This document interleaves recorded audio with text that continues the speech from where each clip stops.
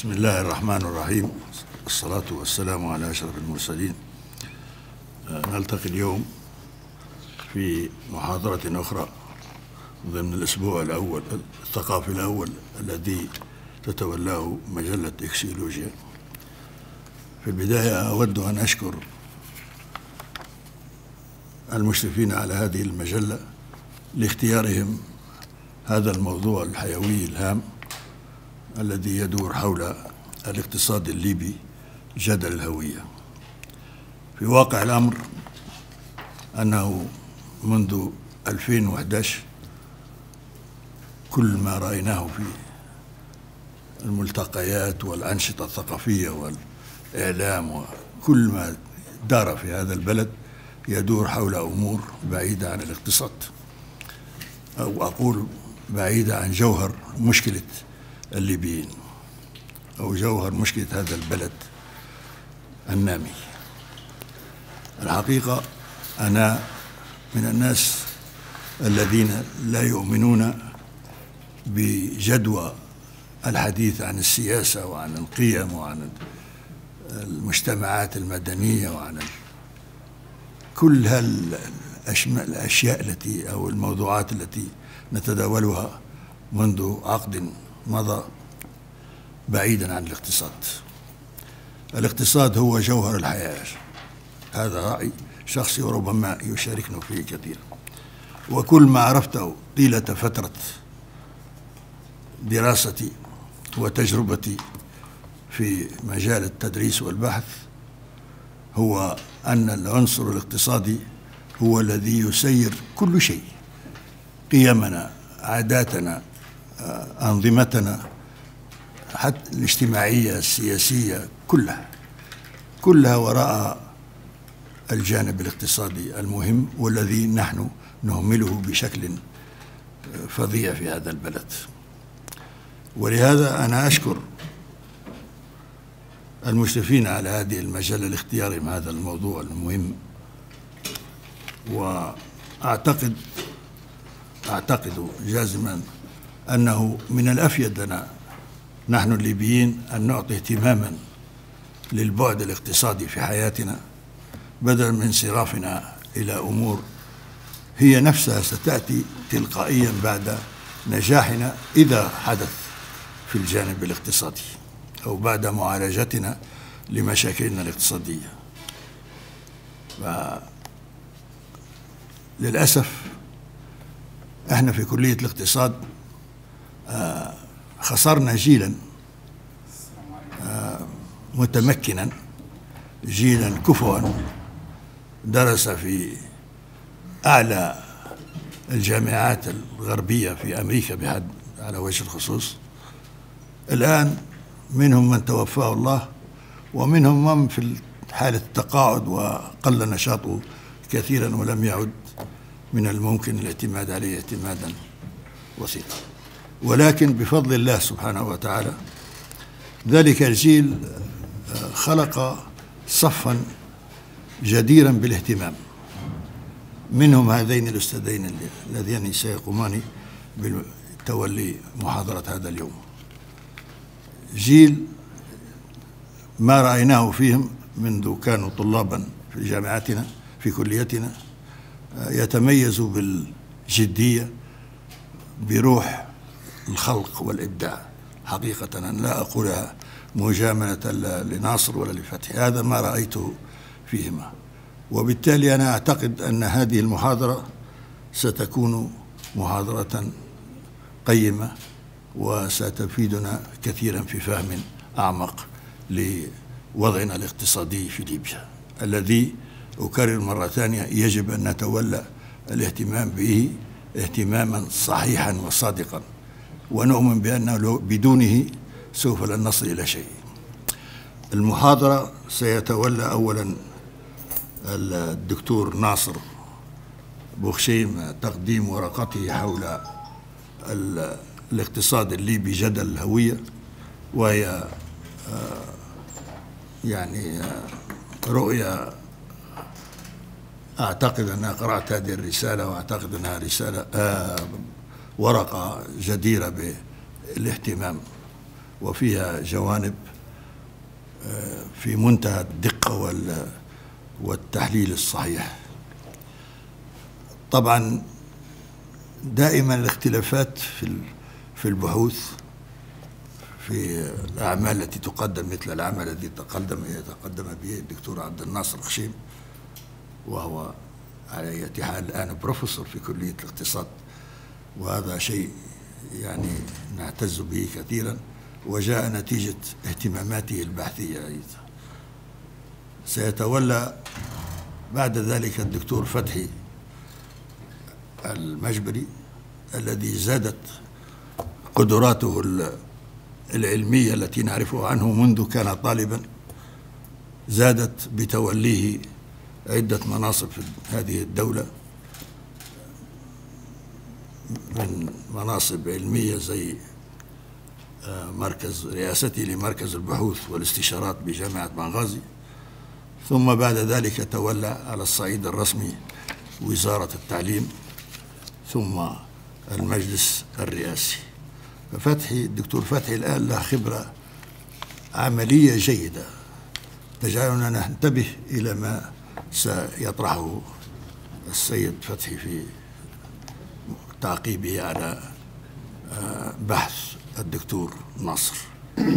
بسم الله الرحمن الرحيم. طبعا نحن الكلام اللي سبق آه، أن قال الدكتور آه، عمر أتفق معه تماما. يعني نحن قاعدين نتحدث في السياسة وهي البناء الفوقي في أي مجتمع من المجتمعات دون الاهتمام بالبناء التحتي للمجتمع البناء المادي للمجتمع اللي هو يتمثل في الاقتصاد.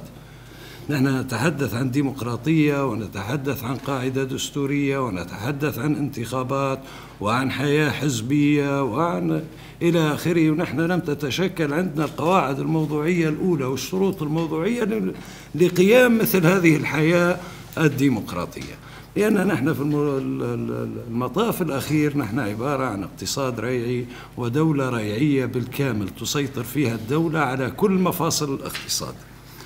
باختصار نحن خلال 11 سنة يكاد يكون السجال محسوم لمصلحة اقتصاد السوق.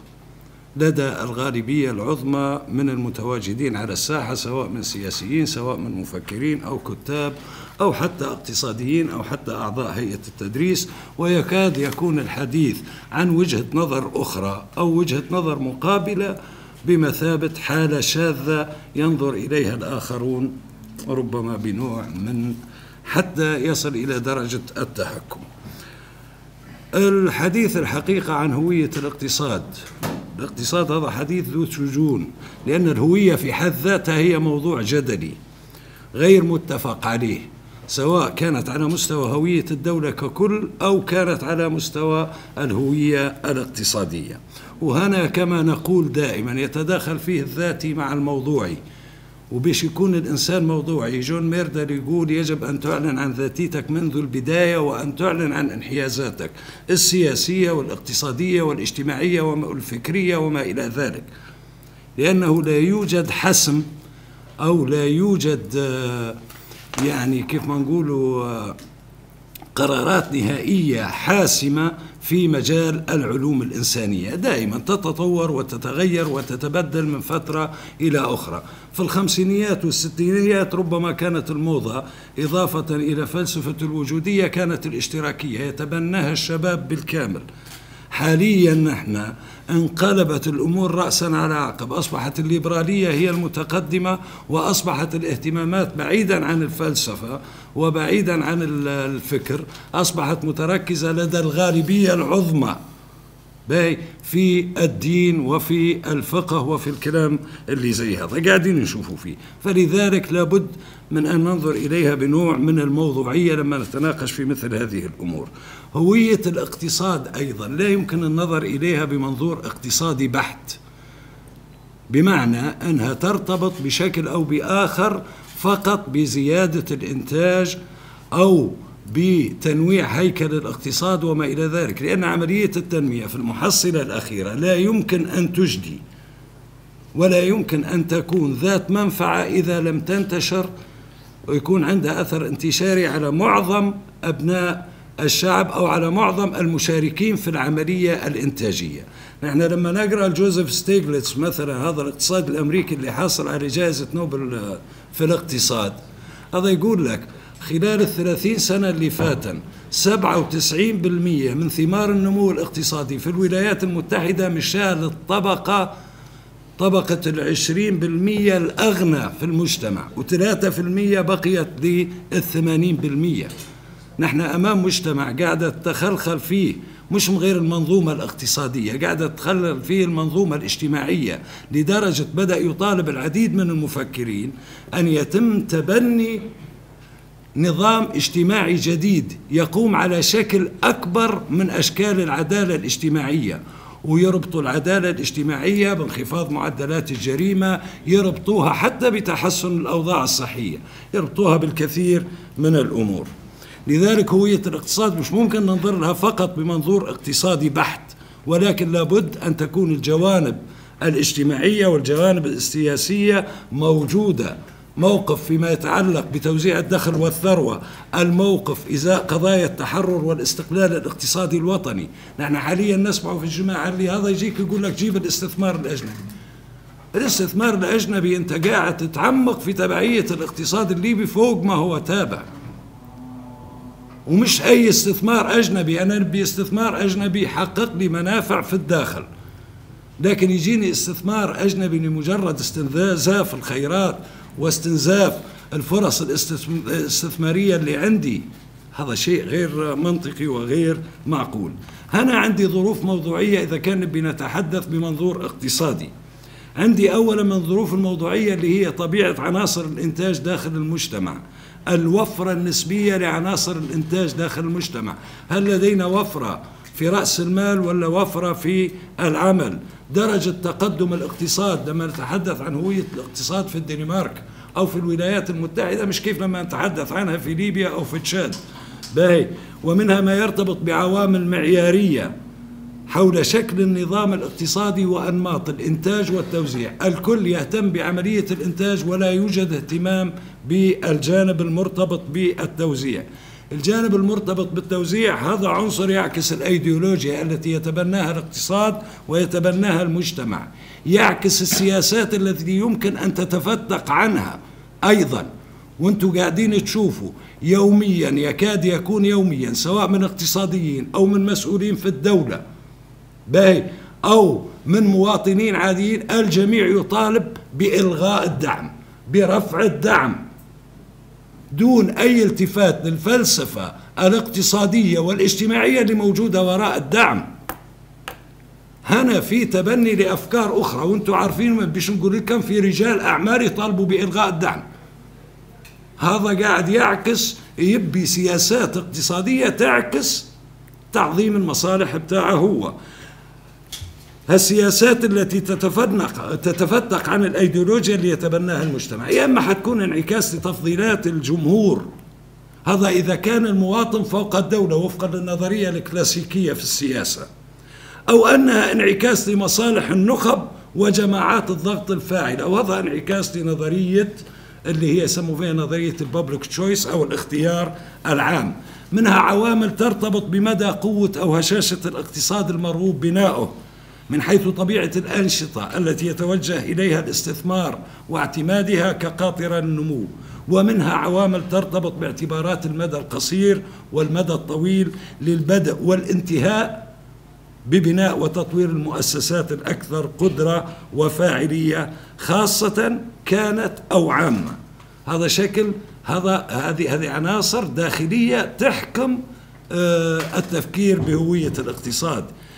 في عوامل أخرى تربط الاقتصاد بالاجتماع بالسياسة المحلية بنظام الحكم بدرجة المركزية أيضا. نحن لما نحكي نقول تنمية عادلة اجتماعيا ومتوازنة مكانيا أيضا لأن في الكثير من الدول نجد مناطق بالكامل مهمشة تماما والتنمية قد لا تصل إليها وحتى بمجال العلاقات السياسية والاقتصادية الدولية. ودرجة الانفتاح أو بشكل أدق الاندماج المطلوبة والمفترضة في الاقتصاد العالمي ومدى وشكل التعامل مع مؤسسات هذا الاقتصاد أو هذا العالم السيادية زي صندوق النقد وزي آه شنو الآخر البنك الدولي وما إلى ذلك. وهذه كلها كانت نتاج والدكتور فتحي والدكتور أحمد دكاترة في الاقتصاد وعارفين الكلام هذا. هذه كانت نتاج لنظام بريتون وودز بعد الحرب العالمية الثانية بعد إعادة تشكيل العالم سياسيا واقتصاديا وفقا لتوازنات القوى والغريب أن هذا النظام مات سنة 1971 ولكن مؤسساته ما زالت تعمل وبفاعلية بل انحرفت عن مجال عملها الأصلي.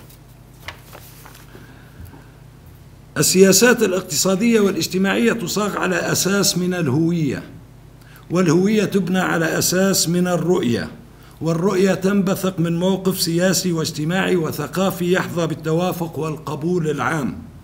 ويفضل ما دام الهدف تحقيق التنمية وتعزيز السلم الأهلي والتماسك المجتمعي أن توضع مصلحة الوطن والمواطن فوق كل اعتبار عند صياغة هوية الاقتصاد.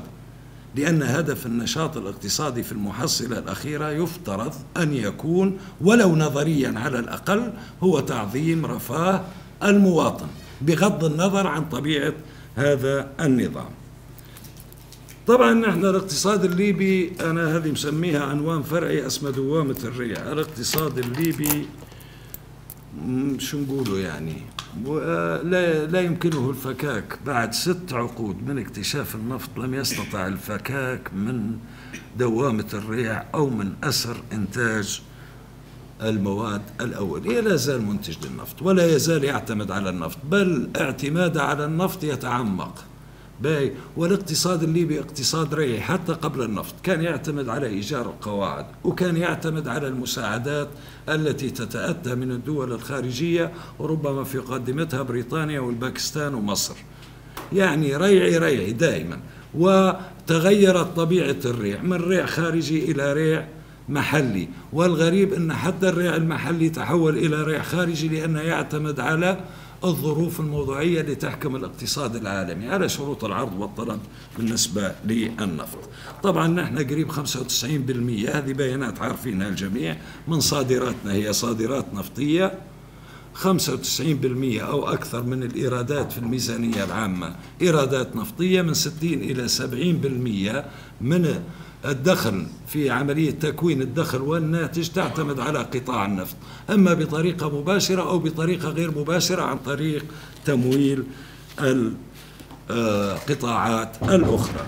الاقتصاد الليبي يتسم بخاصية الثنائية الاقتصادية اللي يوجد فيه قطاع متقدم بكثافة رأسمالية عالية إلى جوار قطاعات متخلفة تماما اللي هي في الزراعة والصناعة والخدمات وما إلى ذلك. طبعا أسهم كل ذلك. طبعا آه ما بيش نخش فيه هني. قطاع النفط طبعا يرتبط بحلقات أمامية وخلفية ضعيفة مع بقية القطاعات. يعني حتى النمو في قطاع النفط لا يتحقق في القطاعات الأخرى إلا من خلال عملية التمكين من خلال عملية التمويل لأن في رأسي حاجة نحكو عليها بالنسبة للتمكين. هذا كله أسهم بخاصية أساسية. في التأسيس والتمكين لقطاع خاص ضعيف وهامشي منخفض الإنتاجية. مهما قالوا حاطي للقطاع الخاص هذه وجه. لا يمثل طبقة منتجة. مبتكرة من الرواد من لا فيهم طلعت حرب ولا فيهم هنري فورد اللي هم يسموا فيها الإنتربرينور. قادرة على تحسس تحسس فرص الاستثمار. تتركز معظم استثماراته في قطاعات الاستيراد والعقارات وملكية المساكن والتجارة الداخلية والمضاربات ويضارب حتى على الصك والسيولة وعلى الدولارات وما إلى ذلك. في حين تتضاءل إسهاماته إلا عدد قليل إلا من رحم ربي في القطاعات السلعية المنتجة إلى مستويات متدنية. ولا يسهم بشيء يذكر في توليد النقد الأجنبي. بل على العكس يستنزف النقد الأجنبي وأنتم عارفين الجري وراء الاعتمادات وما يشوبه من فساد وما إلى ذلك. ولا يسهم إلا بقدر ضئيل في استيعاب العمالة والتقليل من معدلات البطالة. بل لا يسهم حتى في توسيع القاعدة الضريبية والوعاء الضريبي. الغالبية من الأنشطة الموجودة في القطاع الخاص تعمل خارج القطاع الرسمي. يعني في دراسة درناها في 2010 قبل الظروف اللي توه. باهي. ويقال إن كانت فيه دولة إلى حد ما. باهي. حوالي طلع عندنا معظم هذه المشروعات في القطاع الخاص هي مشروعات قزمية. هذا درنا سيرفي على مستوى ليبيا ككل. من 34% من المنشآت العاملة في القطاع الخاص إلى نحو 76% وفقا لمعايير اللي اللي اللي اتخذناها في هذه على الأقل 34% ما يدفعوش الضرائب. لعند 76% لا ينطبق عليه أي شرط من شروط التواجد في الاقتصاد الرسمي. باهي. فنحن عندنا قريب يعني نقدر نقول حوالي 60 65% من القطاع الخاص غير منخرط في الاقتصاد الرسمي. وفيه الشكل يا دكتورة هذا القانوني وفيه الغير قانوني أيضا. يعني أحيانا في ممارسات في القطاع غير الرسمي هو غير رسمي لأنه مش مسجل في الضرائب مش مسجل في الضمان مش مسجل في مكتب العمل ما عندهاش رخصة من البلدية إلى آخره. باهي أو وحدة من هذين ما عندهاش أو اثنين ما عندهاش إلى آخره. باهي لكن أحيانا الاقتصاد غير الرسمي فيه أنشطة خارج السياق القانوني تماما. أنشطة الهجرة غير الشرعية أنشطة التهريب أنشطة الجريمة المنظمة هذه كلها تشتغل وهذه تولد دخول والدخول هذه تضغط باتجاه زيادة الطلب. وتضغط على الأسعار وتضغط على الواردات وتضغط على الرصيد من العملة الصعبة موجودة. للأسف نحن لو كان جينا القطاع اللي يشتغل في الأمور الرسمية والقانونية حنجد بأن لا يسهم في توليد النقد الأجنبي بل يسهم في استنزافه ولا يسهم في التوظيف لأن لا يوظف إلا نسبة ضئيلة. معظم العاملين من 75 إلى 86% يشتغلون إما في الدولة في الجهاز الإداري للدولة أو في منشآت تبع الدولة. والباقي ربما متقاعدين أو غيرها. إلى جانب ذلك يوجد قطاع حكومي كل كم عارفين ضخم ومترهل. الدولة تقوم بالمنظور الآخر حسب واغنر اللي هو مرتبط بالثقافة والرفاه مش فقط بالقوة والقانون اللي هي احتكار آه، السلاح أو احتكار استخدام العنف بمعنى أدق والقدرة على إنفاذ القانون ولكنها ترتبط أيضا بجوانب المكتبات العامة والإنفاق على الثقافة والمسارح والسينمات وما إلى ذلك والحدائق العامة والشواطئ النظيفة وهذا طبعا هذا أصبح ترف لا يمكن أن نتحدث عنه فماذا ترتب عن ذلك؟ ترتب عن ذلك وجود بنية تحتية متهالكة تشوفوا فيها البنية المادية في الشوارع في المطارات في الأرصفة في المياه في الكهرباء إلى آخره. وبنية فوقية مشوهة. من بدري يحكي عليها الدكتور. نحن قاعدين متلاهيين في البنية الفوقية ومسيبين البنية التحتية متهالكة تماما. بنية تحتية متداعية لا توفر الحد الأدنى المطلوب لتشجيع الاستثمار والرفع من معدلات التنمية الاقتصادية والاجتماعية. البنية التحتية الموجودة عندنا في ليبيا من طرقات من مطارات من مواني من محطات كهرباء إلى آخره. باقي صرف صحي إلى آخره. كلها لا تشجع على الاستثمار بل تثبط الاستثمار وتنفر الاستثمار. وبنية فوقية عقيمة. عاجزة عن غرس قيم الإنتاج والإبداع والرفع من قيم العمل والادخار والاستقلالية والسعي والإنتاج العلمي والمعرفي. وأنتم عارفين المنظومة القيمية التي تحكم مجتمعنا في الوقت الحالي. للأسف أني خطمت على محل كاتبين محل بابلو إسكوبار. أكبر مهرب مخدرات في العالم. باهي. يعني بدل ما يحطوا صورة جيفارا ولا عمر المختار ولا صورة واحد فيلسوف ولا يسموا عليه بابلو إسكوبار. تخيل. عند وين انحدرنا؟ ثقافيا وفكريا. آه وين وصلنا؟ انعكست أحادية المورد كذلك في أحادية السلطة وتفردها. وأحبطت مثل ما قمعت بذلك أي تطلعات أو مساعي نحو الديمقراطية والتعددية والتنوع الفكري والثقافي. طبعا أحادية المورد تؤدي إلى أحادية السلطة. والسلطة غالبا ما تحاول أن تتبنى نظام اقتصادي يمكن للديكتاتورية دائما حنشوفوها. حتى وإن ادعت شكلا مهلهلا من أشكال الديمقراطية اللي قاعدين نتفرجوا عليها. أنتم ممكن تتفرجوا عليها في لبنان وفي العراق ونعانيها في ليبيا للأسف. ديمقراطية المحاصصة وديمقراطية ال... لا يخفى على أي مراقب وحضرات كم شايفين وتشوفوا في الشارع.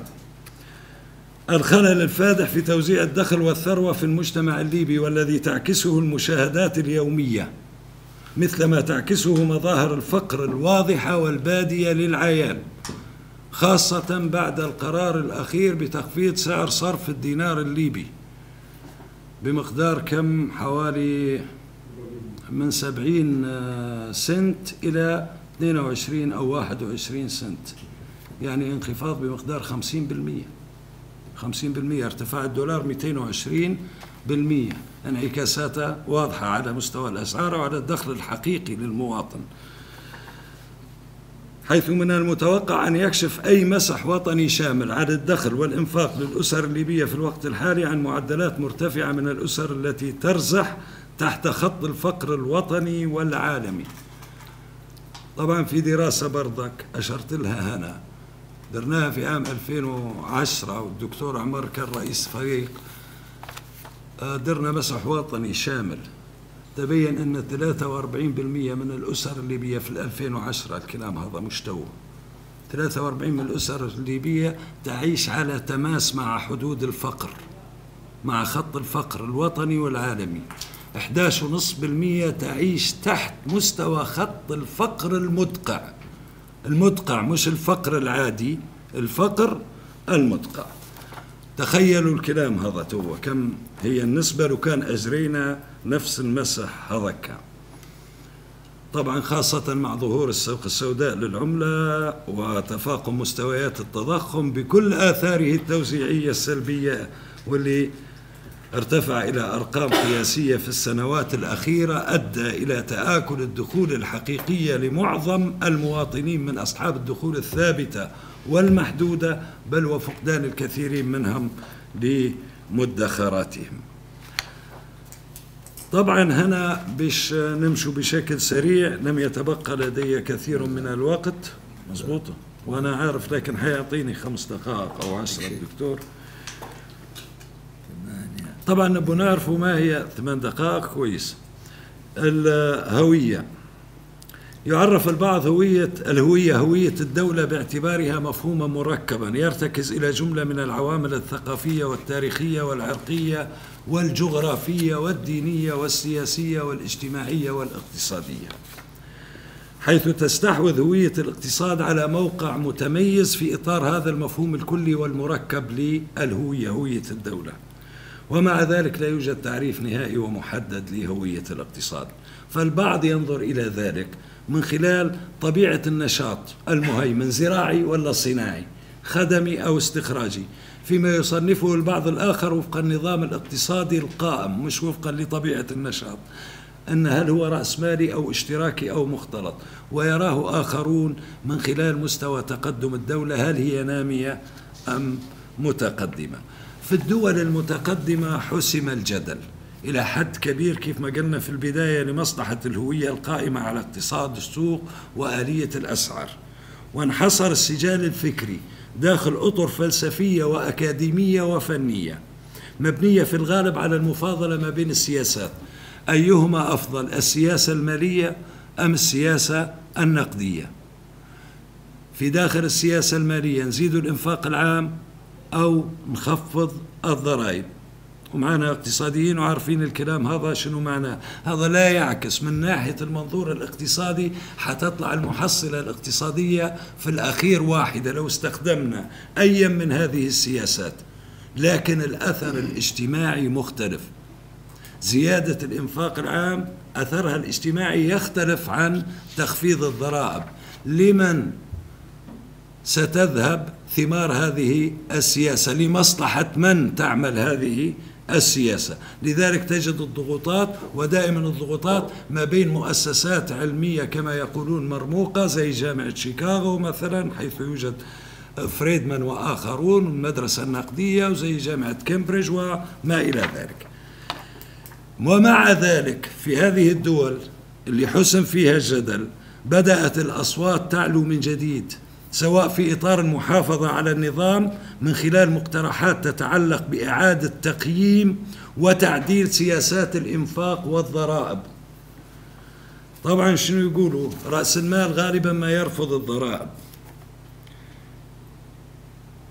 ويقال عندما يرفض الرأسمال وضع الضرائب أو يعمل على تخفيض الضرائب فإنه يؤدي في الغالب إلى استنزاف مقدرات الدولة لأن الدولة منين تستمد قدراتها المالية؟ من خلال الضرائب. في الغالب أنا أتحدث في دولة متقدمة. هنا يقول لك رأس المال لا يدافع عن مصالحه ومواقعه الاقتصادية فقط بل يصبح ضد الطبيعة أيضا. هذا ما أعلنه وارن بافيت. وارن بافيت هذا المليونير الملياردير المشهور. باهي منذ مقالته في عام 2011 في صحيفة نيويورك تايمز التي اشتهرت بقاعدة بافيت والتي يدعو فيها حتى أعتقد عنوان المقالة يقول توقفوا عن تدليل الأثرياء. توقفوا عن تدليل الأثرياء هذا مليونير. إضافة إلى ذلك منظمة المليونيرات الوطنيين في أمريكا. patriotic patriot مش عارف بالإنجليزي كيف يقولوا Patriotic Millionaires هذه يكتبوا خشوا عليها. هؤلاء أصبحوا خايفين مما يجري في الولايات المتحدة حيث يمتلك واحد بالمية من السكان ستة وثلاثين بالمية من الدخل ومن الثروة. في حين انتهت الطبقة المتوسطة هذا كلام بول كروغمان وجوزيف ستيغليتز بتاعين جوائز نوبل. مش كلامي أنا لا أفتري عليهم. باي الكلام هذا يقول لك النظام منذ أربعين سنة يشتغل لمصلحة الأثرياء لمصلحة رجال الأعمال ولا الطبقة من الرأسماليين الذين يعتمدون على الريع. إما من خلال الاحتكار أو من خلال ما يسمونه أيضا بالريع السياسي استغلال النفوذ باي أو من خلال العقارات. غير منتج وغير مبدع. وهؤلاء يقول لك يتخوف هؤلاء المفكرين الاقتصاديين الكبار من أنهم بدأوا في توليد سلالة من الطبقة الريعية. سوف تستمر غير منتجة وغير مبدعة وهنا من الممكن أن تهدد استقرار النظام من الناحية الاجتماعية ومن الناحية الفكرية أيضا لأن هؤلاء الرأسمالية غالبا في الغرب كانت رأسمالية منتجة على الجانب الاقتصادي ومنتجة على الجانب الفكري أيضا بخلاف الرأسمالية اللي موجودة عندنا طفيلية وعقيمة لكن بدأت حتى الرأسمالية في الغرب تتحول إلى رأسمالية عقيمة لأنها تعتمد على الريع وأصبح معظم يقول لك الأثرياء في أمريكا أصبحوا من الورثة. مش هنري فورد ولا ديل كارنيجي ولا شنو اسمه الآخر مورغان ولا روكفلر ولا آل كندي ولا لا. ما مش منتجين ما مش مبتكرين. مش طبقة رجال الأعمال المميزين طبقة الرواد الأوائل القادرين على تحسس فرص الاستثمار قادرين على تطوير تكنولوجيات جديدة قادرين على فتح أسواق جديدة على ابتكار سلع جديدة. لا.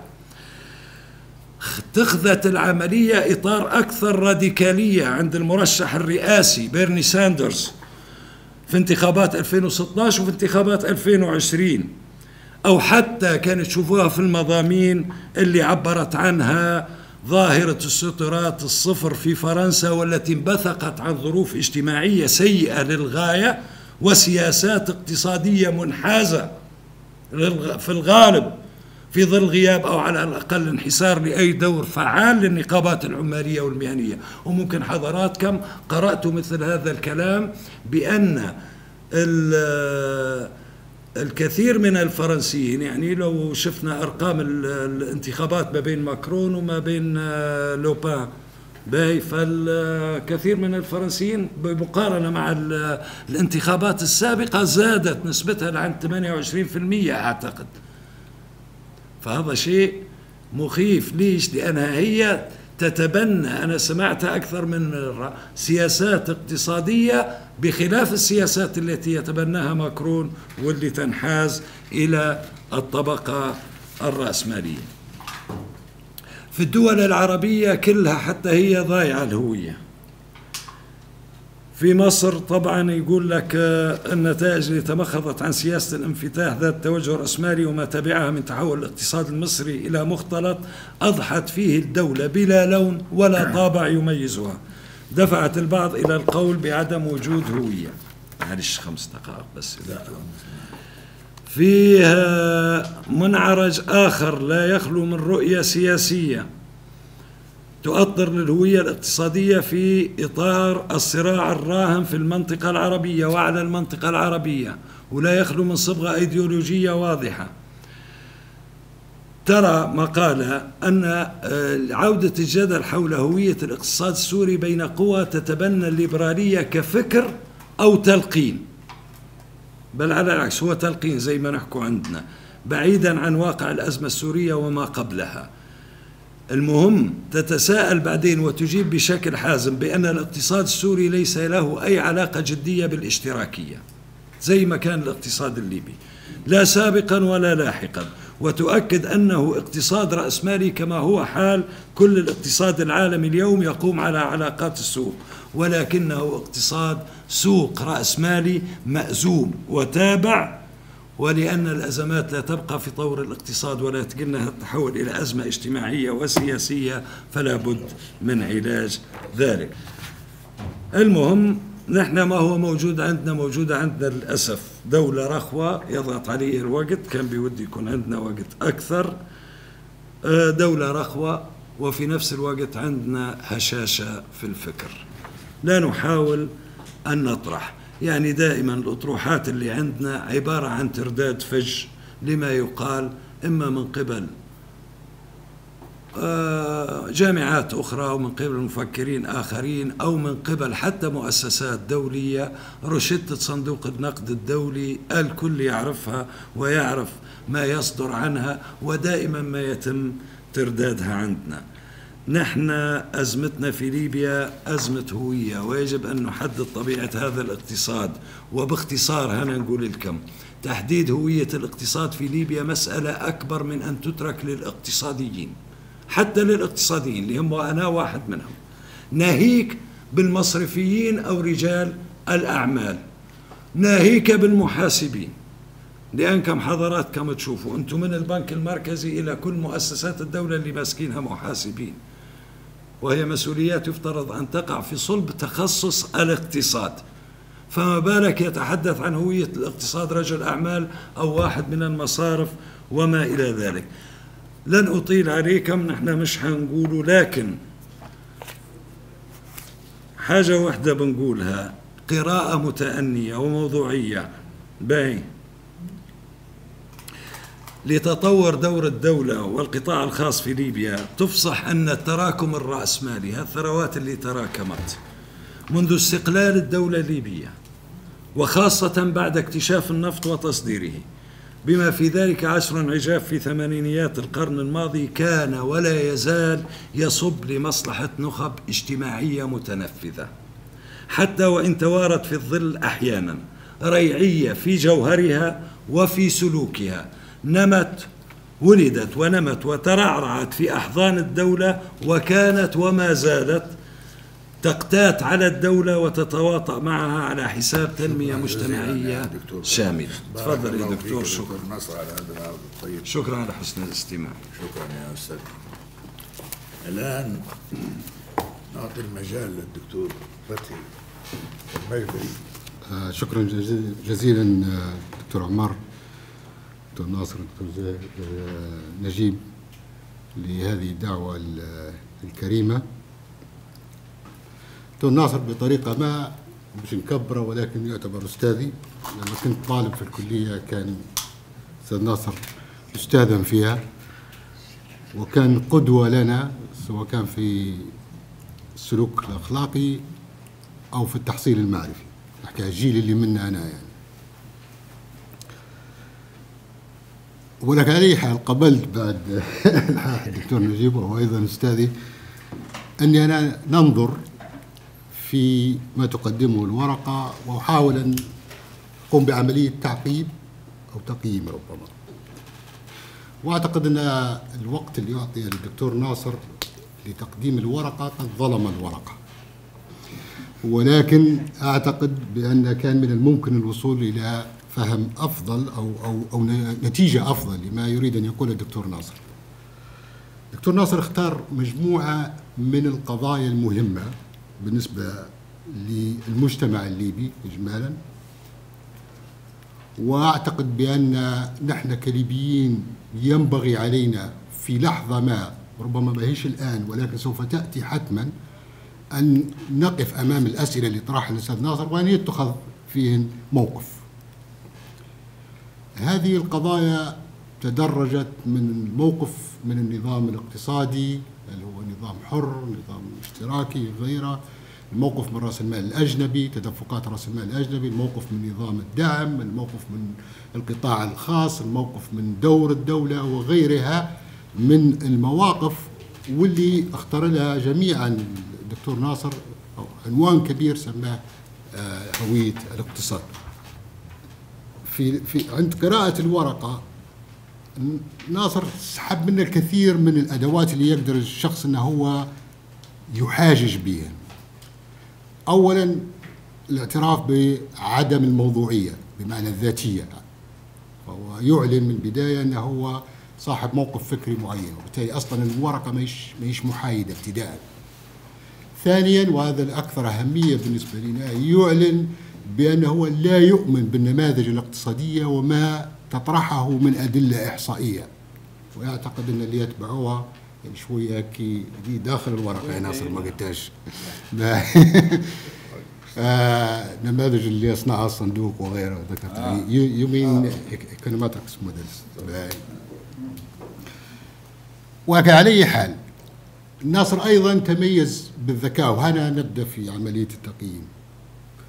اختار صورة مأساوية لما تنتجه المجتمعات الغربية واختار صورة مأساوية للمجتمع الليبي الآن وربما في السابق لإيجاد مناصرين لفكرة يطرحها الآن السؤال المهم جدا ما علاقة الصور المأساوية هذه بالنتيجة اللي حاول يوصل لها ناصر؟ وهل هناك وسيلة أخرى لتفسير ما طرحه الدكتور ناصر؟ خلينا نوضح. نوضح بمجموعة من الأمثلة. لما جينا نتحدث عن نظام الدعم على سبيل المثال. نظام الدعم حسب ما تطرحه تطرحه الورقة موجود أكثر داخل الورقة من, من اللي قاله ناصر هو يرى فيه في هذه الدعوة اولا يقيم من أين جت؟ من واصحابها رجال أعمال؟ عندهم مصلحة في إزالة هذا الدعم؟ ومن سوف يدفع ثمنها مواطنين بسطاء حيخسروا آخر كما سماه في الورقة آخر خط للدفاع الاجتماعي. عنهم أو شيء من هذا القبيل. طيب. أنا مش حنذهب إلى الحجج التقليدية الاقتصادية القائلة بأن نظم الدعم هي عبارة عن تشوهات في الأسعار والتشوهات في الأسعار سوف تلحق أذى بالنمو الاقتصادي وهذا شيء مثبت بالبيانات لكن ناصر يحرمنا من هذا. طيب شو اللي حنستخدمه في المقابل ذلك؟ أنا أدعو ناصر وأدعو حضراتكم إلى تأمل هذا المشهد في مطار تونس وهو حدث بالفعل. مواطن جاي من شخرة يبحث لنفسه عن علاج من السرطان. عافانا وعافاكم الله. الذي تسببت في التلوث الناتج عن إنتاج النفط في ليبيا. ومواطن آخر جاي من مدينة أخرى معروفة بأن هي تتحكم في الوقود المستورد جاء لتونس ليستمتع بإنفاق ما حصل عليه من خلال تهريب الوقود. أين العدالة الاجتماعية في ذلك؟ هذا يدفع ونحن نتحدث عن أشخاص أشخاص فقط عشان تساعدكم في تقريب المشهد. قطاع واسع من الليبيين يدفع ثمن آآ آآ إنتاج النفط وقطاع محدود من الليبيين يستفيد من النظام المشوه لاستخدام إيرادات النفط في شكل إعانات. وهي تشكل بالبيانات يعني نصف الإعانات تقريبا أو نصف الدعم يتم تهريبه خارج ليبيا. أكثر من ذلك اليوم صناعة صناعة المشهد في ليبيا تتحكم في القوى اللي موجودة لدى الأطراف الاجتماعية المختلفة. ونظام تهريب الوقود في ليبيا يخلق قوى مادية وعسكرية لأولئك الذين يستفيدون من هذا النظام. وهم من يجلسون على طاولة صياغة الأوضاع في ليبيا. تأمل ال 75 في في جنيف. حتجد بارونات أو مقربين لهؤلاء البارونات موجودين على الطاولة. في حين أن صاحبنا بتاع شخرة مش الهلال النفطي كله ما فيش منه حد موجود على الطاولة رغم أن الحديث عن مستقبل ليبيا وأهم مكان جغرافي في ليبيا حول الصراع بالكامل مش موجود في ال 75 باستثناء عضو مؤتمر وطني عضو آه، آه، برلمان حكم الدوائر وعضو من مجلس الدولة. غيرهم ما فيش حد من من, من الهلال النفطي موجود في ال 75 في حين أن بارونات استخدام هذا النظام موجودين وبقوة. أكثر من ذلك تسمع بصراعات تحدث على سبيل المثال في الزاوية مثلا. ها؟ ليش ما تحدثش هذه الصراعات في البيضة مثلا؟ ليس فقط لأن النظام القبلي أو غيره يعني لأن ليس هناك ما يستحق الصراع عليه في البيضة. ما يستحق الصراع عليه موجود في الزاوية؟ حيث تهرب الوقود. وتهرب ب تحكي حضرتك على ال infrastructure بدري تهرب ب infrastructure ب pipeline موجود في البحر. Hundreds of millions يضيع على الليبيين بهذا ويضيع أهم من ذلك يضيع عن الأمن والاستقرار في ليبيا ويدعى إلى مزيد من الحرب والاقتتال بين الليبيين. هذا كله يجب أن يكون حاضر في ذهنك لحظة ما تفكر في الحجة العاطفية أو ربما الموضوعية أن والله المواطن الليبي حيدفع ثمن أعلى للبنزينة لأن الدعم حيحول.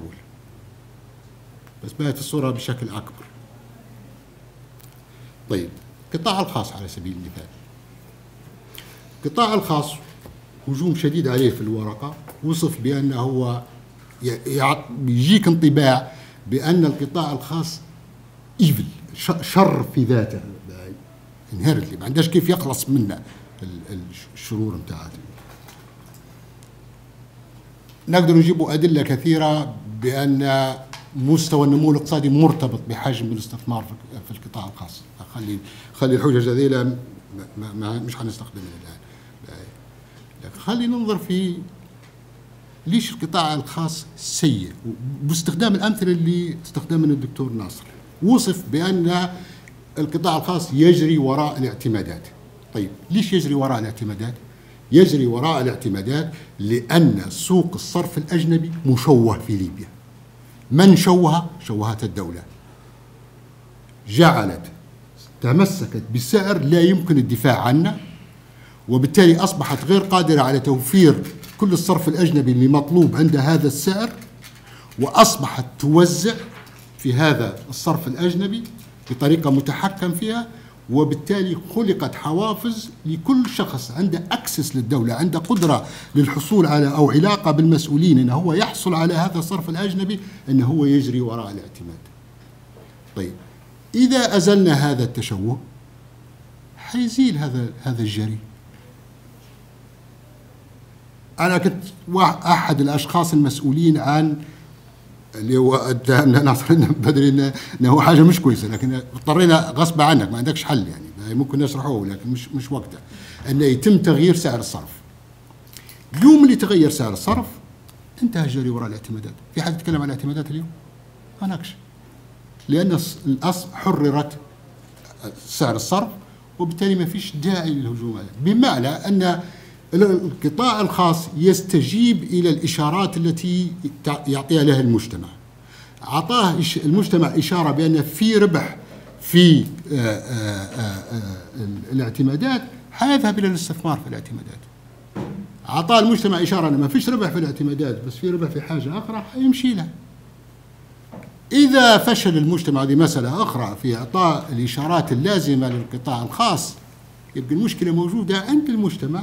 ليش موجودة عند القطاع الخاص. لماذا يعمل القطاع الخاص في في دول أخرى؟ لما- لماذا هناك رواد في في في أماكن أخرى وليست وليس هناك في في ليبيا؟ هل الليبيين هم أسوأ من غيرهم؟ لا. الماتريكس متاع أو أو مصفوفة الحوافز اللي وفرها ال- النظام الليبي للمستثمرين مختلفة عن ما هو موجود في في في مجتمعات أخرى. بل نحكم كما قالش ناصر مباشرة لكن ناصر يكاد يدعو إلى خيارات اشتراكية في في طرح.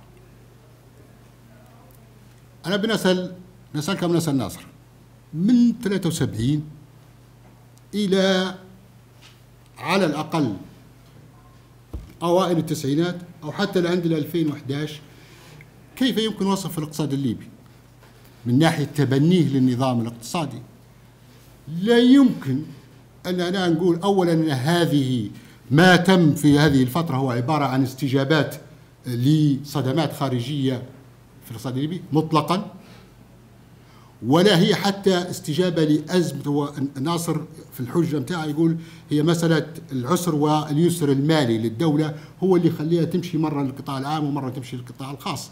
في 73 كان في يسر يسر مالي كبير جدا. كانش مضطرة الدولة أن هي يعني اختارت بوعي ايديولوجيا مكتملة بغض النظر عن الموقف منها وموقف واضح منها واضح لها متمثل في الفصل الثاني من الكتاب الأخضر الذي يتبنى اشتراك آه، ني نظرية أو أو طروحات اشتراكية واضحة. أكثر من ذلك السياسة العامة للدولة تبنت قضايا التحرر وال وال وال والاقتصادي في في ليبيا وفي, وفي غير ليبيا. فما يمكن نقول هذا مهم جدا هو يكون موجود لح في الذهن لحظة محاكمة ما تطرح إليه الورقة أو مناقشة ما تطرح الورقة. إذا كان أنت تبي تشيلنا لنفس النموذج هذاك أو حاجة تشبه ليش ليش نحن متوقعين إن حنحصل على نتيجة مختلفة؟ والدولة مشت مع الخيارات الاشتراكية ولغت بالكامل القطاع الخاص ثم جاءت في أواخر الثمانينات أوائل التسعينات ووجدت أن هي عندها مأزق واضطرت إلى استدعاء القطاع الخاص عكس تماما الوصف اللي قدمه الدكتور ناصر في الورقة. الورقة بتاع الدكتور ناصر تقول بأن لما الدنيا ترتاح الدولة تطلق القطاع الخاص. لما تجي الأزمات يتم استدعاء الدولة. هذا يحدث في العالم الغربي. استدعاء الدولة لما تجي مشاكل. في ليبيا بالعكس مقلوبة المسألة. لا بالعكس. لا لا لا بالعكس. شوف في في في ال في ال آخر آخر نقطة باي. أو مش عارف أنا على اي حال آه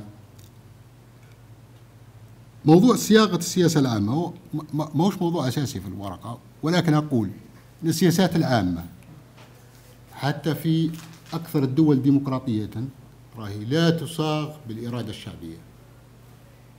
مش دقيق ممكن كلام في التكست بوك تلقاه.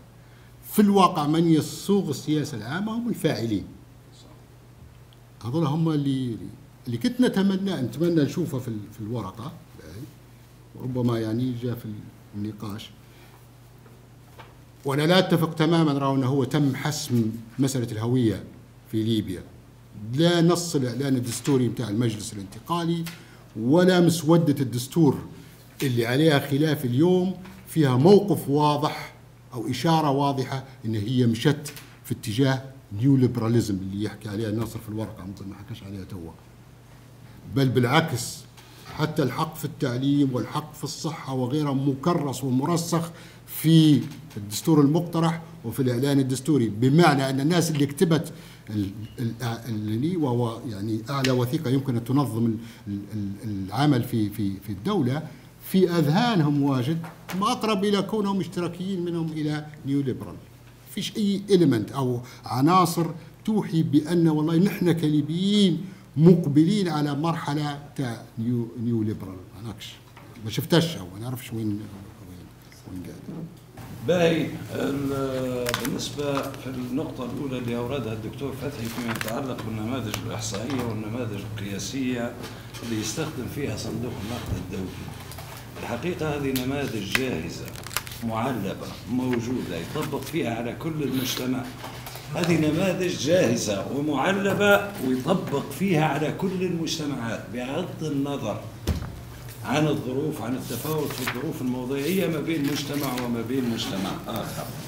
لدرجة أذكر مرة آه، جاتنا في آه، مركز البحوث أعتقد عام 2007 2006 لا أذكر.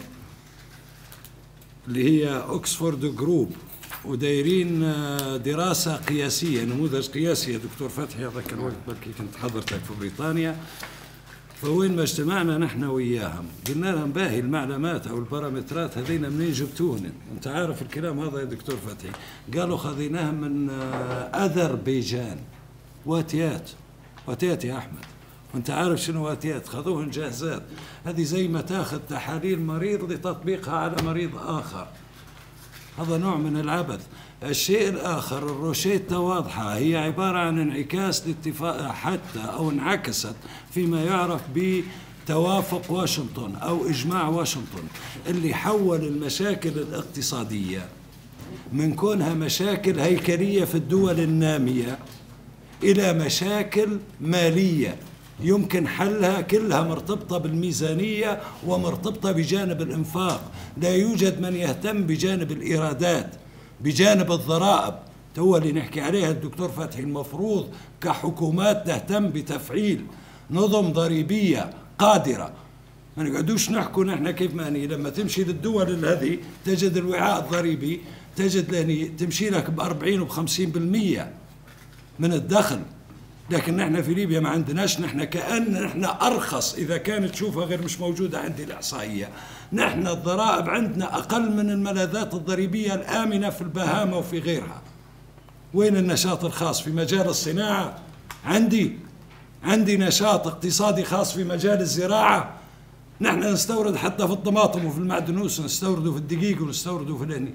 ما سيبنا شيء إلا ونستوردوه معتمدين.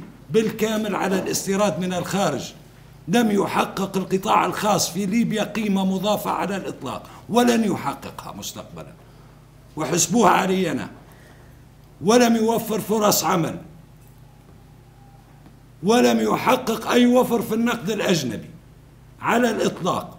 عبارة عن قطاع قائم على الاحتكارات احتكار شو يسموا فيه التوكيلات التجارية أو على الريع العقاري أو على المضاربات. اللي حكى عليها الدكتور فتحي فيما يتعلق ب أن الحجة عاطفية فيما يتعلق بالدعم لا موضوعية. الأمريكان توكلوا على الله وهذا كلام مش عندي ومكتوب موجود في كتاب فيريان. باهي ال- الأمريكان سنة 73 لما ارتفعت أسعار النفط قالوا نحن نفرض ضرائب تؤدي إلى زيادة أسعار النفط وفي نفس الوقت نعيد توزيع هذه الضرائب إما بصورة نقود أو في صورة تخفيض في الضرائب الأخرى. ودرسوها في الكونغرس ومن الناحية الاقتصادية ومن غيرها وبعدين قدمت. قالوا لهم المواطن حيكون وضعه worse off وليس better off. نحن اللي يهمني في المحصلة الأخيرة رفاه المواطن مش كمية النقود اللي من الممكن أن تدخل إلى خزانة الدولة. مشكلة الدعم والتهريب والميليشيات والكتائب المسلحة والمهربين هذه مشكلة أمنية. ما هيش مشكلة اقتصادية. المشكلة الأمنية تعالج أمنيا لكن لا تعالج بأدوات اقتصادية. توجد مشكلة تهريب ما بين الولايات المتحدة وما بين المكسيك. ويوجد هجرة غير شرعية. ولما جاء توكل على الله السيد ترامب وهو رئيس أكبر دولة في العالم قال ندير جدار حديدي مشكلة أمنية تبي جدر وتبي هني. مهربين قاعدين في الزاوية قاعدين في زوارة قاعدين في غيرها. هذه من التفاهم معهم الحكومة. لكن ما يتحملش المواطن تكاليف عجز الحكومة وتكاليف فشلها. شيء آخر يسمى في الاقتصاد وعارفيننا وفي أشهر كتب الاقتصاد الكلي اللي هو ال supply shock approach يعني بمعنى أن نحن تو لو ارتفعت أسعار رفعنا الدعم. حترتفع أسعار الكهرباء مش غير البنزين وحترتفع أسعار الاتصالات والمواصلات.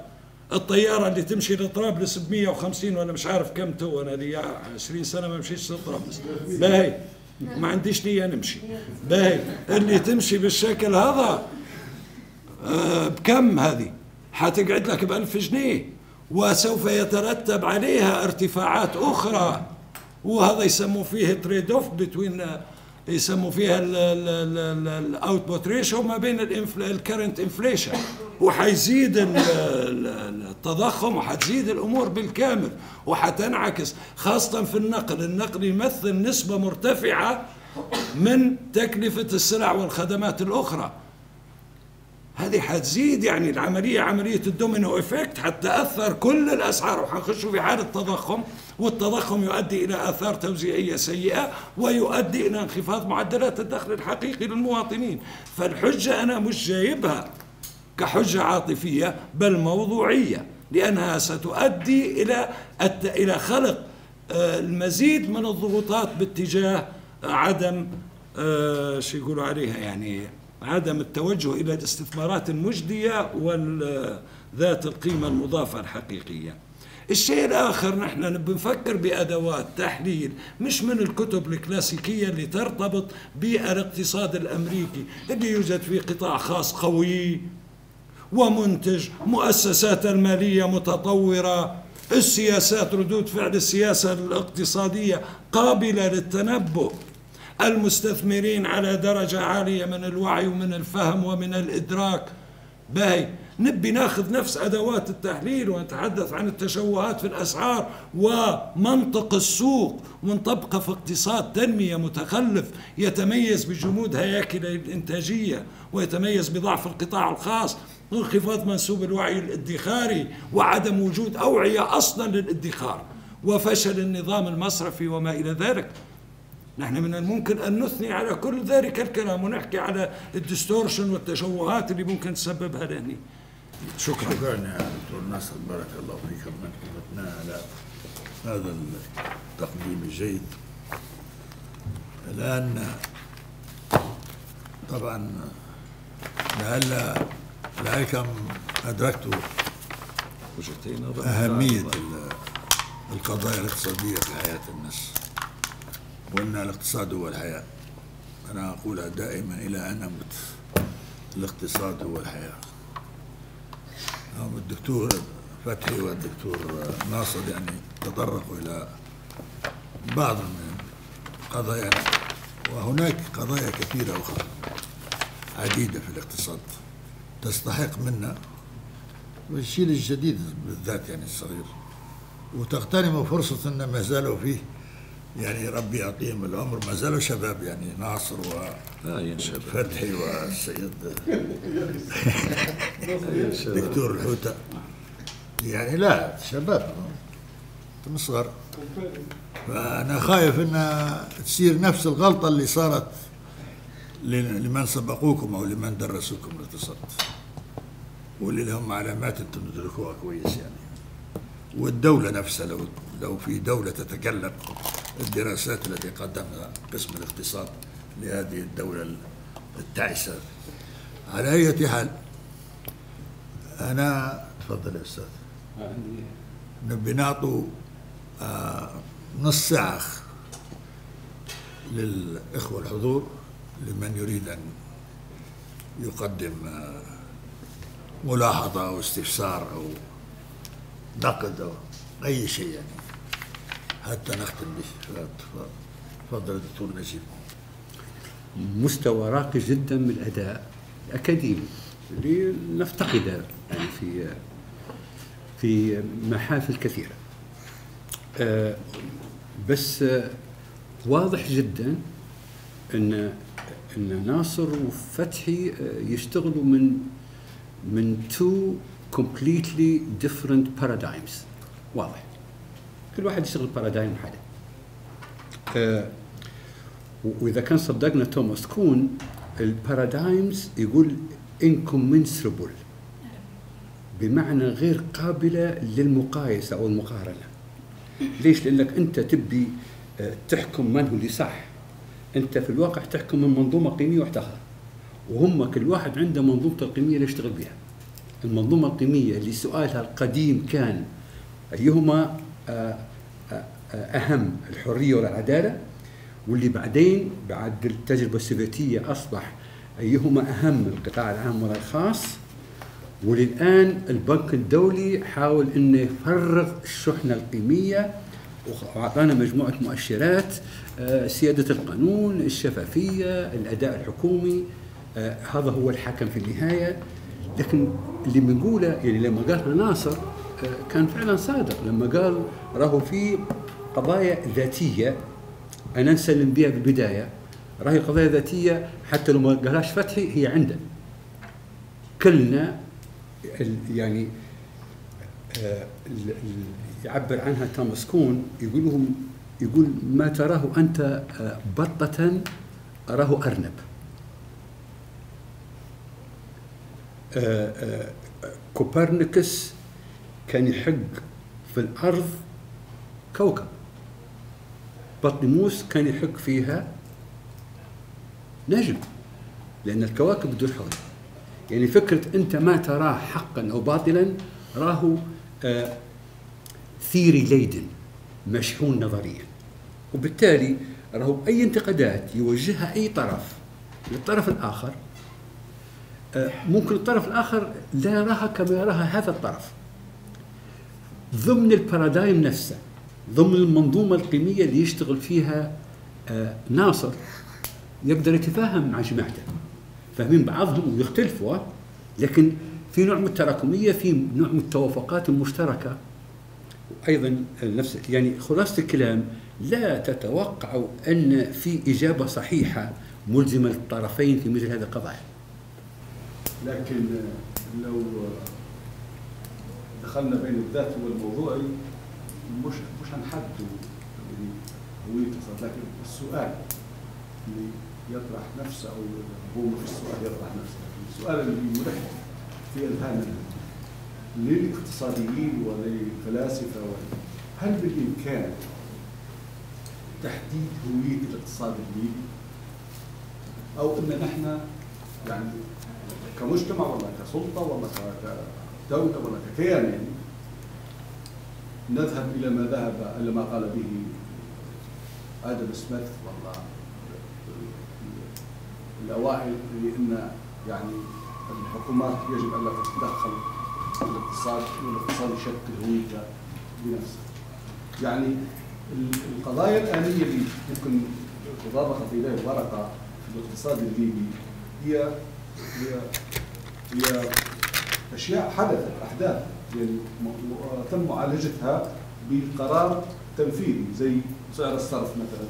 سعر الصرف هو واحد من الأدوات لكن اللي تكلموا عليه اللي اللي اللي حددوا سعر الصرف اجتزأوا شيء من من المنظومة كلها لأن الاقتصاد هو سياسة نقدية وتجاريه ومالية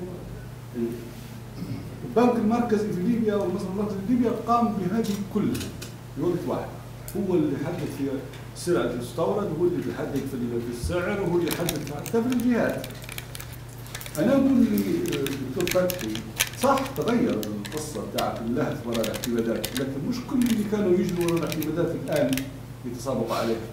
انحصرت في الفئة اللي ممكن حددها الدكتور ناصر إن ال 10% ولا ال 5% اللي هم قادرين إنهم يقدروا يدفعوا السعر وحتى في حتى في أمريكا لما صارت Lehman Brothers catastrophe اللي صارت الانهيار الكبير اللي صار أول bailout قرر آه، آه،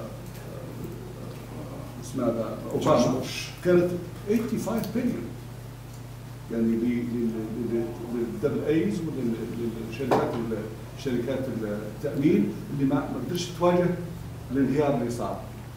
وبعدين توالت القصة بتاعت بتاعت يعني ال- ال- الدعم للمؤسسات اللي ما عادش قدرت تقاوم ال- ال- الموجة. حتى قصة الدعم نحن لا يعني أنا أقول لك أنا بمفهومي أنا الشخصي يعني أو بفهمي البسيط أي واحد يقول الدعم آه، سيء ممكن يكون مصيب. واللي يقول الدعم ممتاز أيضا يكون مصيب لانك انت في مسؤولية الحكومة ولا الدولة هي مسؤولية آه، مسؤولية عامة. يعني ال- الطبقة البسيطة اللي ما تقدرش تتحمل من يدافع عليها. تغير الآليات لكن الدعم موجود. يعني مرات أنا ما ندعمش واحد آه، فوق مستوى خط الفقر مثلا. لكن ندعم ندير آلية أخرى. والان الآن في استخدام في الذكاء الاصطناعي واستخدام منظومات كثيرة انها ممكن نعطي كوبونات للناس. ال- التشوهات اللي في الاقتصاد الليبي. ممكن حكى عليها الدكتور ناصر. قال إن هو الاقتصاد الليبي من اكتشاف حتى قبل اكتشاف النفط كان كان رايع أنا أخالف بهذا ليبيا كانت تصدر. كانت تصدر في أشياء هي تنتج فيها. الناس كانت تنتج في يعني في فترة من الفترات ليبيا كانت تصدر في القمح وتصدر في الصوف وتصدر في المواشي لكن ال- ال- الانحسار بعد بعد ظهور النفط أصبح إنك أنت اللي بتحصلها من من من, التعب وزمان ال- ال- الأدوات غير الأدوات اللي توها. الآن ممكن أنت تزرع 10000 هكتار عرفت؟ بآلات يخدمون ثلاثة أربع أشخاص بس. لكن زمان تحرص على الدابة الجهد. تغير. فأصبح ال- ال- ال- الريع أو ال- ال- العائد إنك تجيبها من من من إنك أنت توقف 20 يوم في في حق النفط وتروح تريح 15 يوم. هذا طبعا الأفضلية الناس تمشي للأريح. لكن الآن أو حتى قبل 25 سنة 30 سنة الناس في فترة من الفترات اتجهت للتصنيع. لكن الآن كل الناس تتجه حتى اللي ياخذ طبعا البنوك تعطلت من 2012 تعطلت بالكامل. البنوك ما هيش ما هيش مؤسسات للتنمية هي مؤسسات لتخزين الفلوس تخزين النقد. كل كل كل النشاط الاقتصادي اللي موجود توا هو اقتصاد طفيلي يعني أنا لما واحد تاجر يقول لازم ترفع الدعم يقولها يقولها المصنع ممكن نقبلها منه لكن لما يقول لك تاجر ما اقبلهاش منه. اي حال يطول الحديث لكن هذا هذه المبادرات أتمنى أنها تكون في نطاق أوسع لأن أنا حكيت مع مجموعة من الأخوة في مجلس بنغازي يمكن إحنا نقدر نخلق بهذه المبادرات يعني هوية للاقتصاد في بنغازي. بنغازي الآن كل اللي تشوف فيه توا يعني مش تشوه يعني بالكامل في كل شيء سواء في المظهر العام ولا في الاقتصاد يعني يجي واحد يدير مصنع مية يجوا 10 يديروا مصنع مية. واحد يدير يبيع حليب يجوا 20 واحد يدير يدير حليب. لكن لو يبقى في خارطة عرفت ل- ل- ل- لتوزيع الاستثمار للاستثمار. يبقى في حتى الإقراض يمكن يساعدنا فيها. ما بس ما يكونش إقراض ربوي يعني. آه. شكرا شكرا. أنا ما زلت نأمل بس من الدكاترة يعني يوضحوا لنا وجهة نظرهم هيك تجاه عملية الهوية يعني. يعني أعجبتني ورقة الدكتور ناصر في عملية تشخيص تشخيص الحالة الليبية وخاصة لما شخصها لفترة من 11 متعال يعني بصراحة ظروف تختلف يعني صعب انك دكتور فتحي التعقيب بتاعه كان على جانب الدعم. أكثر من توضيح الصورة يا دكتور شنو شكل يكون هالاقتصاد هذا يعني رؤيتنا له شنو حتكون يعني؟ يعني حتى ناصر في البداية قال يكون صناعي ولا زراعي ولا يكون خدمي شنو حيكون؟ رأس مالي ولا اشتراكي ولا مختلط ولا يعني هي هذه هي الصورة اللي نشوف فيها انما برامج الدعم والحاجات هذه هذه فيها تشوهات أصلا في الميزانية نفسها، هي الميزانية نفسها التعبيد يعني لما نشوفوها على مر سنوات طويلة حنجد فيها الكثير من التشوهات في في داخل حتى الميزانية وفي بنود الميزانية وفي بنود الدعم نفسه يعني، ما هو الدعم مش غير شوية البنزينه اللي نمشوا بها في الشوارع وما عندناش حل ثاني يعني. نحن كليبيين ما عندناش حل إلا نمشوا بسياراتنا وما فيش حلول أخرى.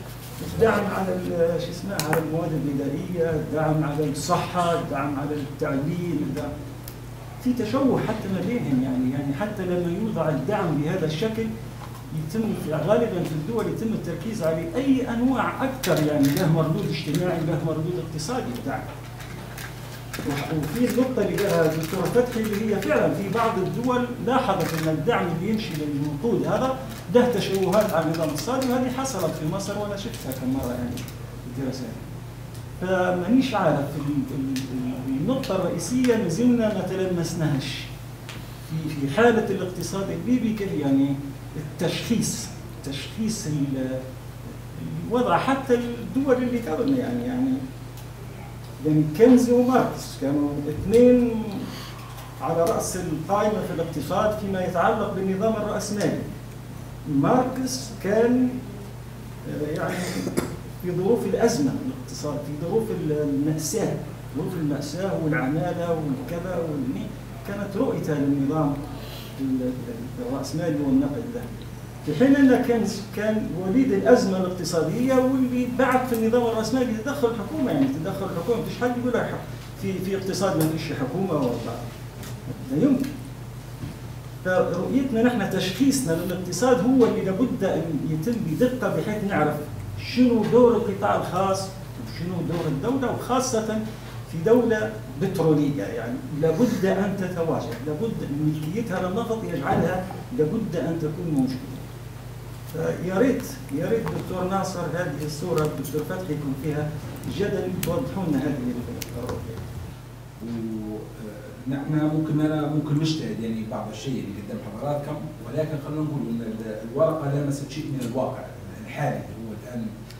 طبعا الاقتصاد الليبي كان مغلق يعني من قبل 2011 ما كانش يتأثر وما كناش نحن كناس وكذا نشعر به يعني شنو المتغيرات اللي يصير وكذا فكانت الدولة ممكن آه، آه، تساعد بعض الشيء من خلال الدعم وغيره وكانت يعني هي اللي تعتبر مسيطره بشكل مباشر في جانب الاقتصاد. وحتى ما بعد فبراير إلى 2015 وما حدث من تغير سياسي وانقسام سياسي وكذا أصبح ال- المواطن يشعر الآن وأصبح في في مواجهة مباشرة مع التغيرات الاقتصادية وقاعد يحس بها وقاعد يتابع، حقيقة فيما يتعلق بجزئية الهوية الاقتصادية تحدثت فيها في السابق يعني عبر صفحتي على على الفيسبوك وتحدثت فيها حتى مع الدكتور فتحي وكذا. آه، شنو هي الهوية الاقتصادية بتاعنا نحن؟ يعني شنو هل نحن هوية اقتصادية سياسية آه، زراعية صناعية كذا خاصة في المنطقة عندنا؟ مروا فيها ان هي مشوهة ما لهاش ما لهاش وصف محدد بحيث إن نحن نحددوها وحتى يتم العمل آه، من خلالها. آه، الشيء الآخر اللي اللي تحدث عليه الدكتور ناصر خاصة فيما يتعلق بجانب الدعم. وأعتقد الدكتور ناصر نحن الآن في من ضمن الأمور في عملية رفع الدعم أو غيره نحن رانا الجانب الجغرافي برضه يأثر فينا وضعنا الاقتصادي قدام الدول الجوار وغيره وهذا جانب مهم جدا يجب مراعاته يعني لما نشوفوا نحن البنزينة ولا غيرها راهي منخفضة أمام ارتفاعها فهنا حتزيد حتزيد يعني المتاجرة فيها وكذا وهذا ما تحدث عليه الدكتور فتحي بشكل واقع اللي ما يحدث الآن. يعني عا- عاش فترة معينة أصبح الأمر ملموس بالنسبة له، الأمر ما عادش تسيطر عليه حتى من ناحية أمنية يعني صعب جدا. فأعتقد أنه يجب تدخل عملية اقتصادية في هذا بحيث انه هو يساعد حتى الجانب الأمني بحيث إنك أنت تقدر تسيطر عليه.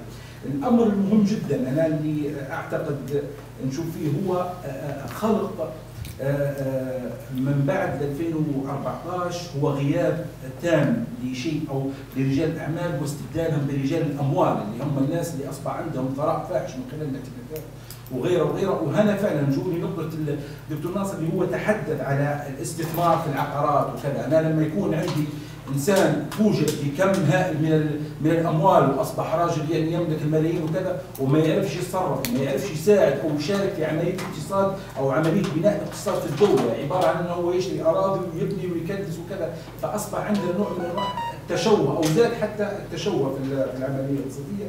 آه، أنا أشوف أو آه، نسأل الدكتور ناصر فتحي هل نظام الدولة هل نظام الدولة لما نحن خاصة في ما يتعلق في المرحلة القادمة في الجانب الدستوري وغيره، هل هو حيساعد بشكل كبير نظام الدولة وشكلها في عملية تحديد الهوية الاقتصادية للدولة أم لا؟ أعتقد أن ما في شيء يعني. الآن نعطي فرصة للإجابة على سؤال الهوية إذا كان سؤال الدكتور أحمد.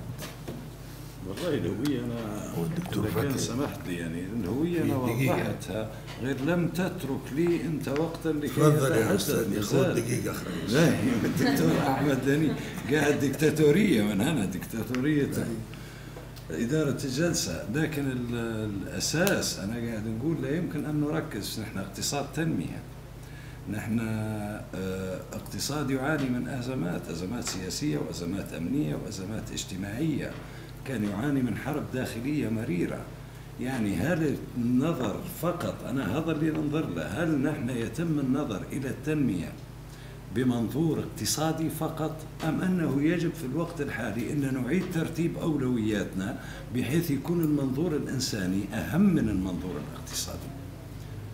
يعني نحن عندنا مشاكل مرتبطة بالنازحين بالمهاجرين عندنا مشاكل مرتبطة بإعادة الأعمار عندنا مشاكل مرتبطة بمعدلات الفقر المرتفعة وهذه اللي سأل عليها الأستاذ جابر اللي هي مش عندنا نحن في العالم معدلات الفقر بدأت ترتفع بشكل شديد. باهي نحن اللي ممكن أن تترتب عليها مظالم وتترتب عليها انتفاضات أخرى وتترتب عليها مشاكل سياسية بينما جامعز نقعد نحكي بس في قاعدة دستورية وفي كلام زي هذا نحن خارج السياق تماما. شيء ثاني اللي بنقول إن العالم يعاني من أزمة اقتصادية، العالم يعاني. ما سموه ركود مزمن. على الأقل من عام 2008 إلى الآن في تباطؤ في معدلات النمو في مشاكل هيكلية موجودة في الدول المتقدمة. لم تستطع تجاوزها إلى الآن بفعل انحيازاتها إلى سياسات معينة. وممكن الدكتور فتحي حكى على النماذج القياسية وأنا أنصح أي واحد فيكم الدكتور فتحي معايا فيها يخش على آه، فضيحة رينهارد روجوف باهي ممكن عارفينها حضراتكم فضيحة Reinhart Rogoff السياسات معلش يا دكتور هذه مهمة جدا الله لا. بس أنت بنقول لك دقيقة أنت ما بس. جاوبتش على أحمد. السياسات تو نجاوب عليها تو نجاوب السياسات الاقتصادية السياسات الاقتصادية اللي بنيت كانت على نتائج مزورة لنموذج قياسي معروفة. باهي. وأساتذة في جامعات راقية في أمريكا واكتشفت والغريب أنهم قالوا بلكي في عملية الإدخال بتاع البيانات أو في عملية تهيئة؟ فيها تواطؤ وبنيت عليها سياسات والسياسات لم تجدي نفعا. بلانشارد وغيرها وجدوا قالوا back to the future إن علينا العودة إلى السياسات الكينزية. باهي لأن نحن في فترة ما بعد الحرب ما بعد الأزمة الاقتصادية الكبرى في الثلاثينات خشينا في حاجتين النيوليبراليه اللي ذكرها الدكتور فتحي من بدري. لا ذكرتها النيوليبراليه على ليبيا. أفتيت عليك يا سيدي سهل. باي النيوليبرالية نحن كان عندنا الليبرالية في ال- الشراكة بالتفاوض. باي أو الحكم بالتفاوض. هذا ساد لغاية السبعينات. بداية أواخر السبعينات بداية الثمانينيات أصبحت الليبرالية الحكم بالأمر مش بالتفاوض. الطبقات الوسطى والمعدلات النمو اللي تحققت في تلك الفترة كانت على درجة عالية من هني. توا معدلات النمو بدأت تتباطأ وهذه توجد العديد من المقالات اللي ما نقولش فيها هنا اللي يقولوا فيها أئمة وأعلام الاقتصاد في الولايات المتحدة. الدكتور أحمد يسأل عن عن هوية الاقتصاد. نحن في اقتصاد معظم النقد الأجنبي معظم الدخل يتولد عن طريق الدولة. يا أما الدولة تستخدم هذا الدخل في توفير السلع والخدمات العامة للمواطنين وعندك في فرنسا الدولة تتدخل ب 58% في الاقتصاد. في آه، السويد وفي آه، سويسرا وفي غيرها لعند ال 65% يصل تدخل الدولة الإنفاق الحكومي كنسبة من الناتج المحلي الإجمالي. يصل لعند 65% تجد بأن الضرائب مرتفعة في هذه الدول. لما يقولوا لك لدرجة الكثير من الدراسات الاقتصادية أربطت العدالة بتوز... العدالة في توزيع الدخل حتى بالحالة الصحية للمواطنين. وخش على كندا وخش على غيرها. أنا أؤمن باقتصاد السوق الاجتماعي. يكون فيه أنشطة للقطاع العام. لا يمكن أن ينافسه فيها القطاع الخاص وهنالك أنشطة للقطاع الخاص لا يمكن أن يدخل وينافسه فيها القطاع العام. لنبو الانفلات الرأسمالية المنفلتة زي توا والانفلات الاقتصادي ولا نبو تدخل الدولة حتى في بيع الخضروات زي ما كانت في الثمانينيات. كل واحد ياخذ دوره ويكون القطاع الخاص مكمل للقطاع العام ونبو قطاع خاص حقيقي منتج وليس قطاع خاص طفيلي. يعمل على استنزاف أو نزيف آه، أموال الدولة. ويكون بناء خارج سياق الدولة. معلش يا دكتور فكرة أخيرة. كارل ماركس يقول أن الدولة تتدخل من أجل باهي من أجل أن خدمة الطبقات المسيطرة لقهر الطبقات المسيطر عليها أو الطبقات الغالبة. نجولي آه، نظرية آه، البابليك تشويس يقول لك الدولة تتدخل ويقولوا فيها مباشرة اللي هي الاختيار العام. يقول لك الدولة تتدخل من أجل هدفين الوهم المالي إنها تضخم الميزانيات والبيروقراطية اللي هي تستفيد من تضخيم الميزانيات. لما يجي رئيس وزارة ولا رئيس دولة يحط لك ميزانية بهذاك الحساب ب 200 مليون وهو يبي 100 مليون. البرلمان حيوافق له على 150 مليون تمام هذا اللي صاير. باهي تضخيم الميزانيات. فاتفقوا انه يستغلوا هذا ال rent seeking اللي هو التماس الريع وتعزيز تدخل الدولة في النشاط الاقتصادي واستخدامها لتحقيق مصالح البيروقراطية اللي موجودة في داخل لهني اثنين الحقيقة يعني أنت تقصد أن التفسيرين موجودات في ليبيا. الدولة موجودة لخدمة البيروقراطية والبيروقراطية متحالفة من داخل الدولة مع الأثرياء اللي قاعدين يضغطوا باتجاه آه، صياغة سياسات لمصلحة هذه الطبقات. بالنسبة لي هناك أساسا كلمة استخدام كلمة الهوية زي تروجن زي آه، حصان طروادة اللي يستخدموه مجموعة من الكتاب العرب لطرح أفكار ذات طبيعة اشتراكية. ما في مطلقا على الأقل في ال school اللي منها باهي ما في مطلقا في الاقتصاد شيء اسمه the identity of the economy at all. حطه في ال Google Scholar do your search you'll get zero. باهي وين تلقاه الكلام هذا هتلقاه عند بعض الكتاب العرب أصحاب التوجهات الاشتراكية غالبا آه، مقالات ذات طبيعة صحفية هدفها آه، بروباغندا ودعوه لموقف قيمي. أكثر منه تحليل موضوعي. الأسئلة الكبيرة هذه كلها يمكن أنك أنت تفنطها. شنو تبي نظام راسمالي ولا اشتراكي؟ هذا سؤال متعلق بالبحث عن النظام الاقتصادي المناسب. الموقف من رأس المال الأجنبي والانفتاح على التجارة الدولية. هذا موقف متعلق بالانفتاح الاقتصادي. الموقف من شو اسمه نظم الدعم وغيره هذا موقف آخر متعلق ربما بالمالية العامة ما في نحن كاقتصاديين أنا نقول ك school of thought ما عندنا حاجة اسمها هوية الاقتصاد المدرسة اللي ممكن ناصر عنده مدرسة خاصة به باهي.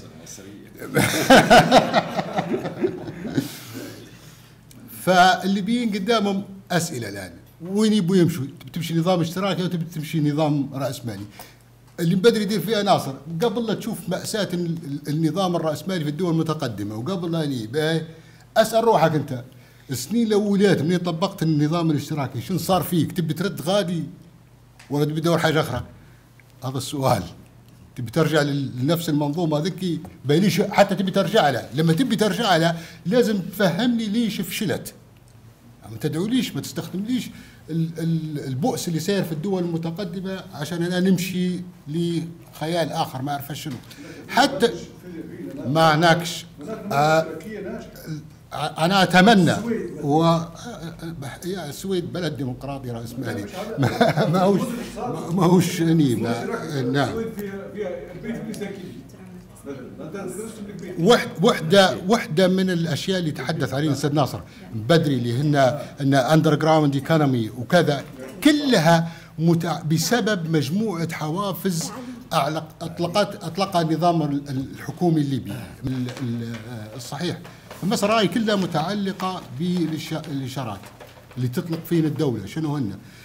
أخيرا فيما يتعلق بالدعم أنا وكثير من الليبيين يكرهوا أن واحد يحكي لهم على البنزينة والدعم ومش عارف شنو وكذا.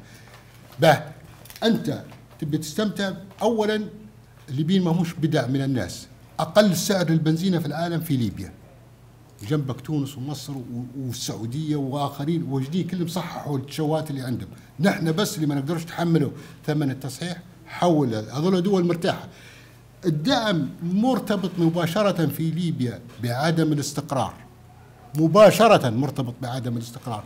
الدولة اللي يطلب منها الأستاذ ناصر أن هي تجد حل أمني لمشكلة التهريب الدولة نفسها صار لها اختطاف من هذه القوة اللي موجودة في التهريب والتي استطاعت أن تختطف الدولة بفعل التهريب. ما هو مش انت أنت تطرح إجابات نظرية وخلاص. هل من الممكن ما تطرحه انه هو يتحقق؟ تقولي والله أنا نكافحهم امنيا. لا يمكن مكافحتهم امنيا لأن هم الأمن أصلا. يبقى أفضل شيء شو نديره؟ حول الحافز هذه وأنا نقدر واساسا وتعرف كويس هذا يا ناصر إن التدخل في السوق دائما يخلق تشوه. أفضل شيء باش تخلص من الإصابات المتاعين حتى ترك السوق. زي ما كان اورايت. معاك. يخلق يخلق مشكلة. عندها طرق معالجتها. لكن ما تجي نفس. نعم. اللي تمت في الفترة الكنزية كان تدخل. اي تتدخل الدولة لكن ما تخش تشوه العملية. خش عوض الخلل بتاع السوق نواقص السوق. لكن لا تتعدى على منطق السوق. تتعدى على منطق السوق تدفع ثمن غالي. تشوه وتنحرف منك الأشياء. ممكن في البداية كانت اقتصادية تو تنحرف تدفع في ثمنها امنيا.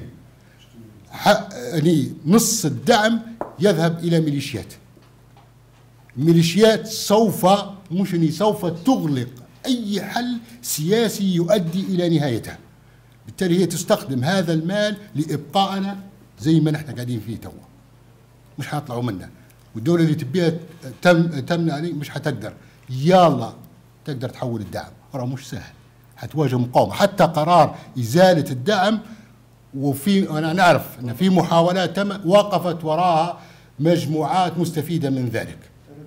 الهوية. يعني معناكش هوية معناكش تروجن ما فيش حاجة اسمها هوية. مسألة أن الاقتصاد الليبي الشكلية اللي يكون عليها. هي حتى مسألة الميليشيات هذه فترة مؤقتة يا دكتور ونحن نتكلم عن لا لا لا لا حتى لا ضروب لا اسمعني اسمعني. عملية النضج اللي يوصلها المجتمع هي اللي بعدين بتفصل في الموضوع. يعني تو الوضع السياسي القائم المتردي اللي نشوفه فيه مش حيصير منا مين يصير نضج عندنا مين تتأزم المواقف لحد ما كلها تبحث عن إن شاء الله إن لا شاء لا الله. من- شكرا لا يا لا خليني بس خليني في هل تتحدد هل تتحدد يعني الشكلية ما نقولش نقولوا هوية للدكتور الشكلية اللي يكون عليها راس مالي أو اشتراكي تأتي حسب سير الأحداث ولا تبي تجيبي قرار سياسي؟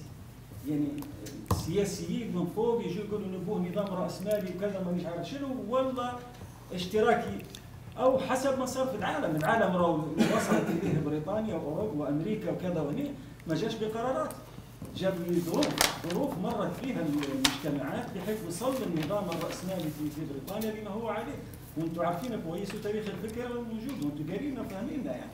يعني الانتقال من الرأسمالية التجارية إلى الرأسمالية الصناعية كنتيجة للثورة الصناعية اللي كانت قاعد بالفترة هذيك. وبعدين آدم سميث بناء على اللي تحدد ال- الهوية بتاعها شكله يتغير.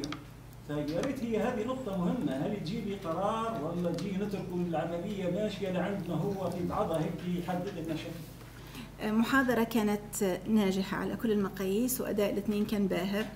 آه، الدكتور ناصر بخشيم آه، آه، ورقة رائعة. ولكن ال- ال- الأكثر إبهارا بالنسبة لي أنا كأكسيولوجيا هو ما سماه الدكتور ناصر بخشيم ديكتاتورية إدارة الجلسة. بالنسبة لي إدارة الديكتاتورية هذه جعلت الجميع يتشوق للورقة كاملة يقرأها واللي حتكون في العدد الأول إن شاء الله من أكسيولوجيا. الغرض نحن من لقائنا نحن اليوم هو أن آه، آه، الكل يسمع أن آه، الأساتذة يشوفوا رأي الناس في في الورقة يجودوها يثروها يضيفوا لها إلى آخره. بس أنا أدعو بعد ما سمعت من من الاثنين من الدكتور ناصر بخشيم والدكتور فتحي المجبري أدعو الدكتور فتحي المجبري للتعقيب مكتوبا ال- التعقيب عادة يكون بتأييد وب مثلا يعني إن من يأيد أو أن آه، يأتي بما يؤيد كلامه وليس يرفض يعني مش نستعمل كلمة أو يعارض أو يعارض خلينا نقول أو يعارض. فأنا أتمنى أن في أكسيولوجيا العدد القادم يكون في تعقيب مكتوب من آه، دكتور فتحي المجبري. هذا هو كل فقط ما ما تمنيت أن أقول.